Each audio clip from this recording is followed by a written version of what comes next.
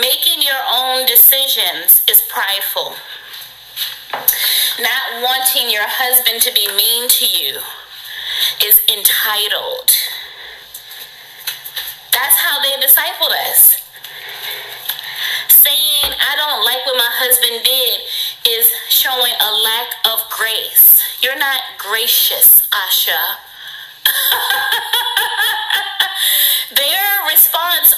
to you pointing out behavior was to say, Well, you better be careful that you're not bitter. I said it that way because I know you all can finish that sentence just like Dora the Explorer. What is it, guys? If I say I don't like that, what is the answer? What is it? well, I hope you don't just make sure you're not bitter.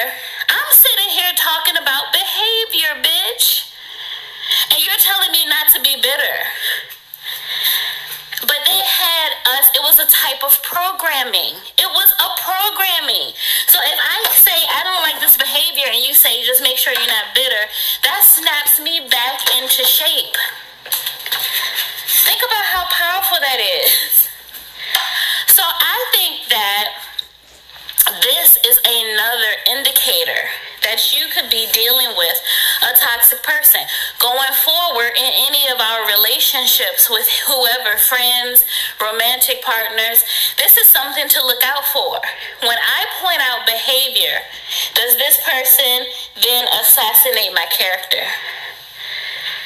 Just one of the things that should be, that's not necessarily so obvious.